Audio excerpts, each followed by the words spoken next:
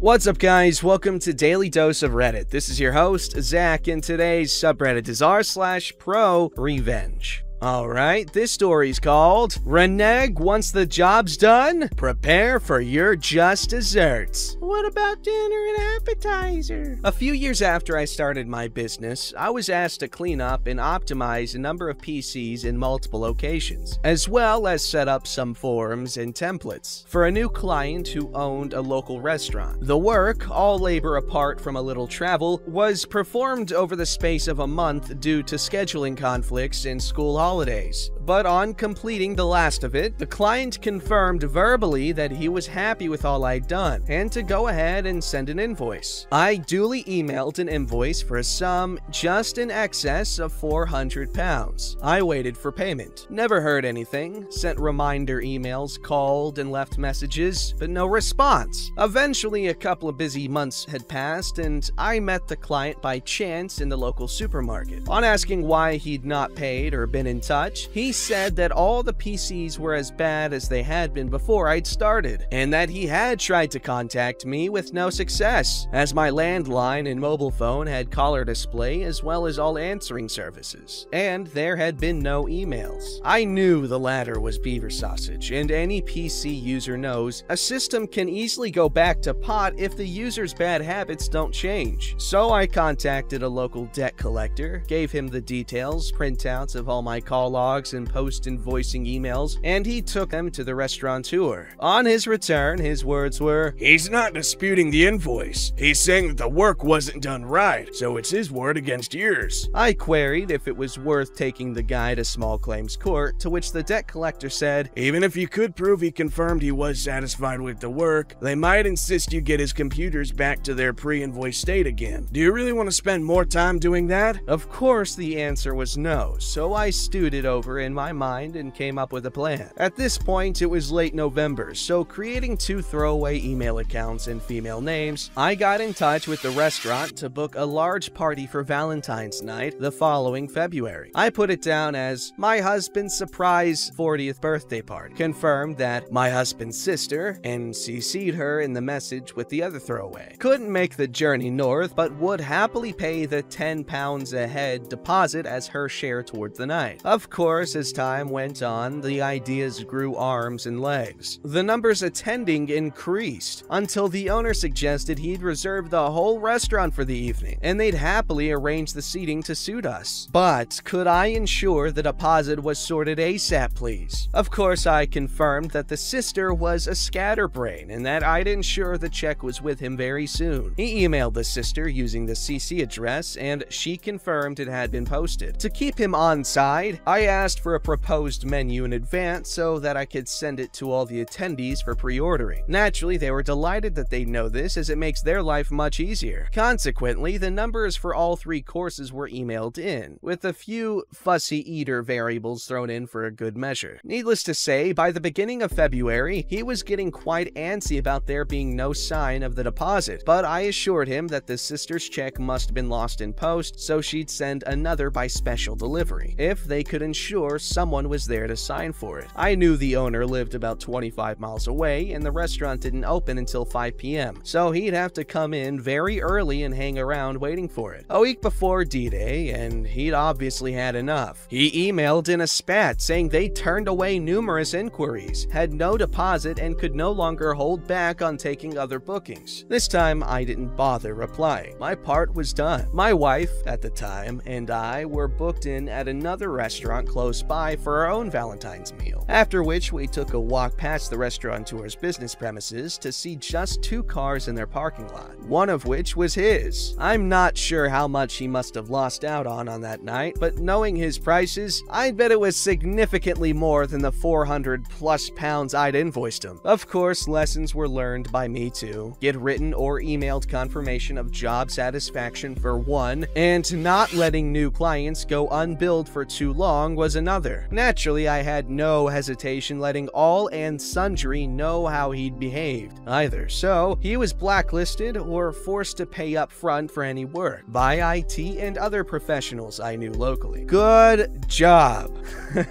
Hopefully he learned his lesson. Um, I honestly started feeling kind of bad toward the end for the dude.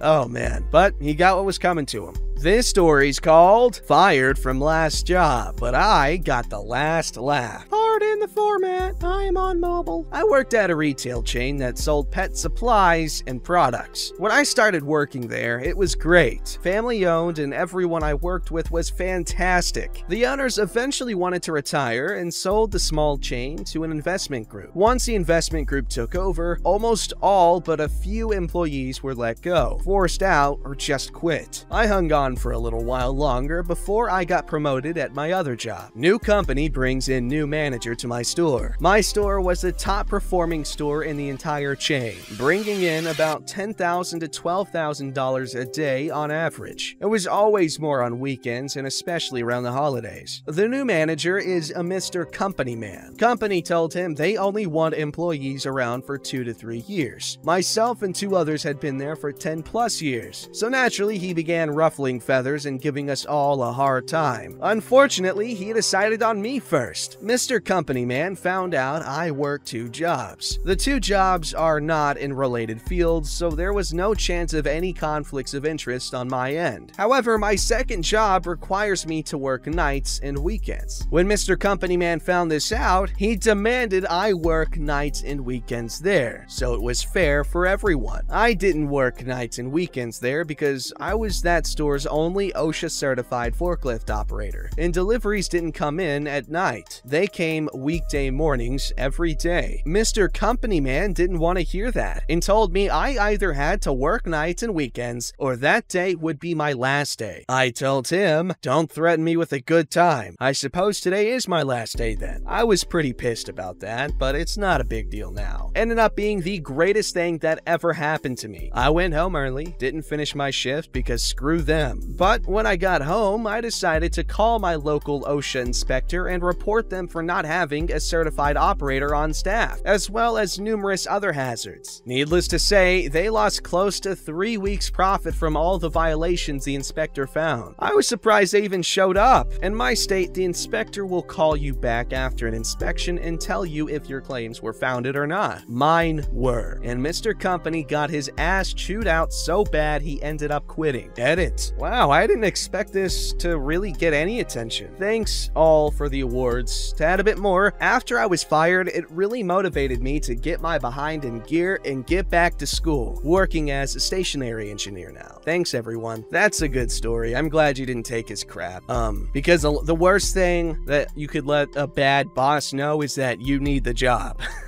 because he will take advantage of that this story's called Don't Pay for Fireplace Ended Up with a House Full of Smoke. Edit, I meant wood stove, not fireplace. I didn't know there was a difference until someone pointed this out to me.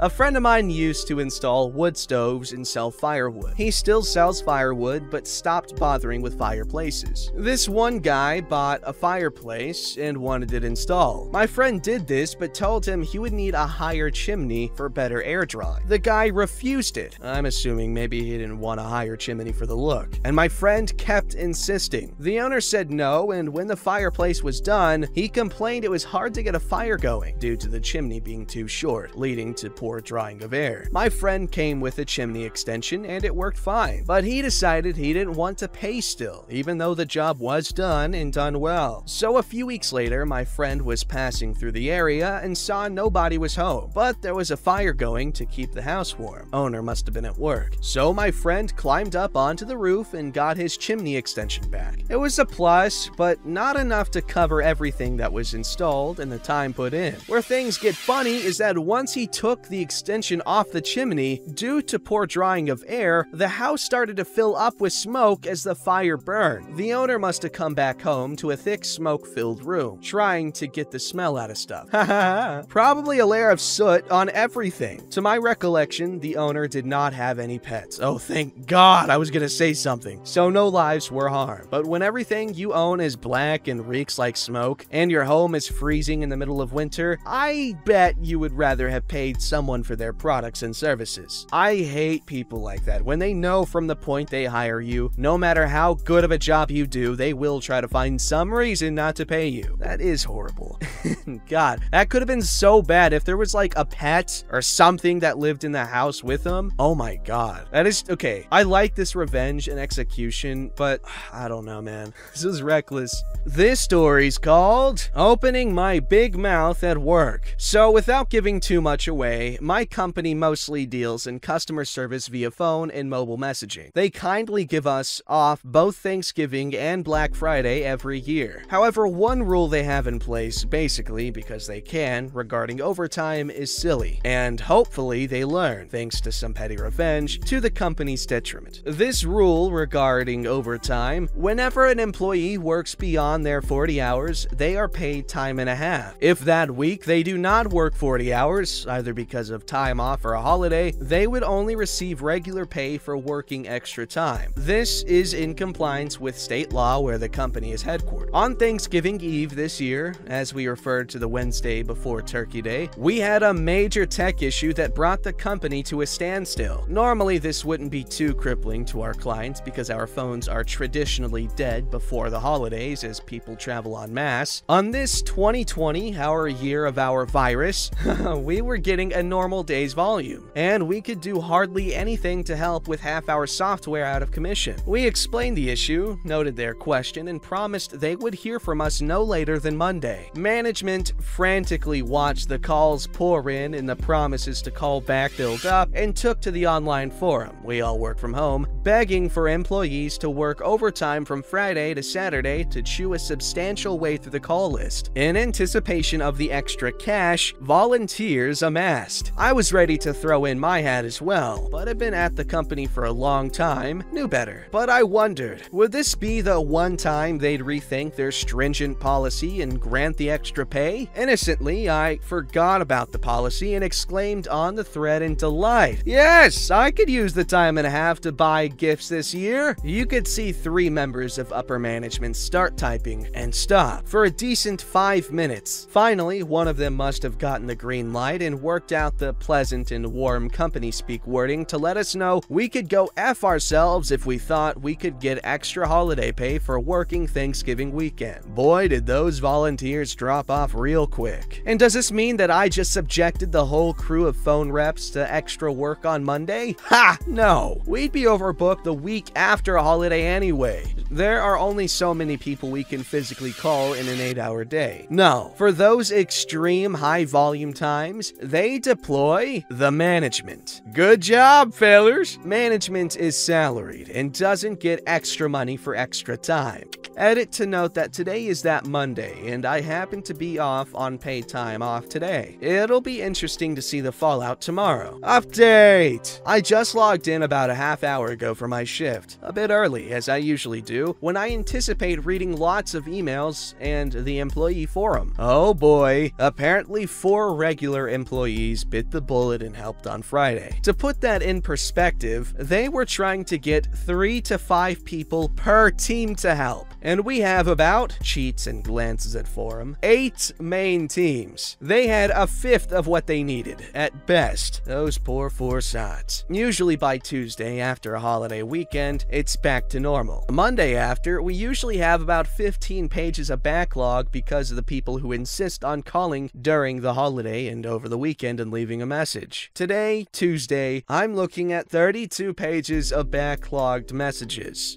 Well, half the head honchos in charge of our part of the business have been awfully quiet on the forum these past two days, it appears. The other half, well, you need to be trained in the job to do it. So, the head of payroll, for instance, is not involved. But those guys are acting like cut rate cheerleaders. Come on, team, we can do this! Well, sure, but you aren't getting cursed out by impatient customers with four day old problems. Is anything going to change? Probably not. but I guess we shall see around Christmas if someone decides to cripple the internet again before that. Thanks for reading. Yo, no overtime is whack. Management of OP's company, you suck and you're jerks and I don't like you. Boom. That'll leave him crying. Alright, this story's called I Got My Brother to Shut Up. So when I was a kid, I was having an argument with my brother. I have no idea what it was about, but he was definitely wrong. Anyway, he was under the impression that being loud made him right. So he kept getting